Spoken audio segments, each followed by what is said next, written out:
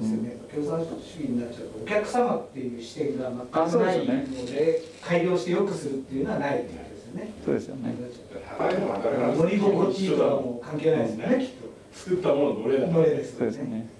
だからあの先ほどちょっと話出たんですけどもあの実は日本もそれに近いところ結構あるんじゃないかなと思うんですよね。で今日はあの人作りやりませんけどえー、と皆さんですね仕事とととは。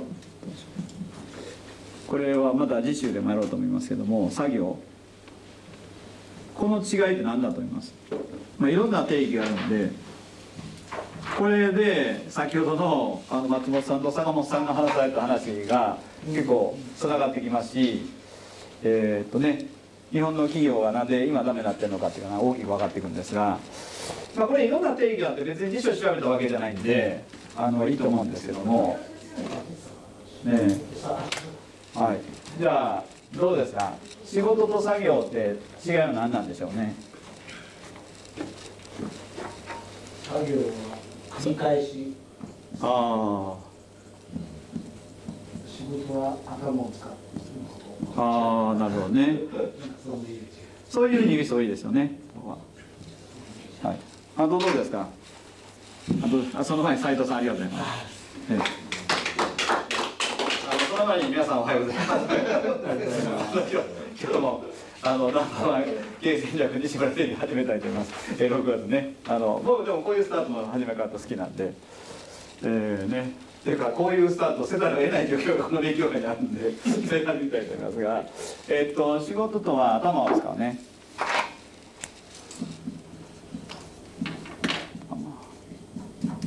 を使う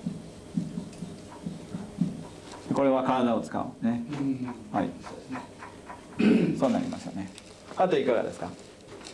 私はこう思ってます。あの梶さんいかがですか？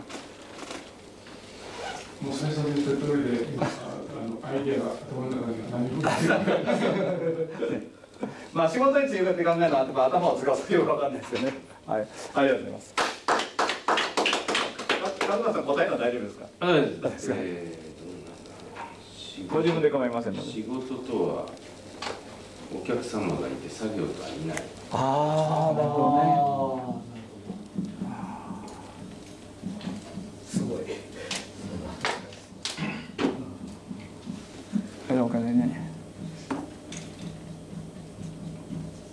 ね拍手を送りましょう。だから先ほどお話の中にやっぱりこの、まあ、コーヒー業界の話がありましたけどもまた日本の企業でもおかしくなっているところは顧客観点がないですよね。あの作業を続けてっていうのはあると思います。でまあこれあの辞書見たらまたそれぞれ意味があるんですけどもあの大体皆さん言われた通りですよね。でえっ、と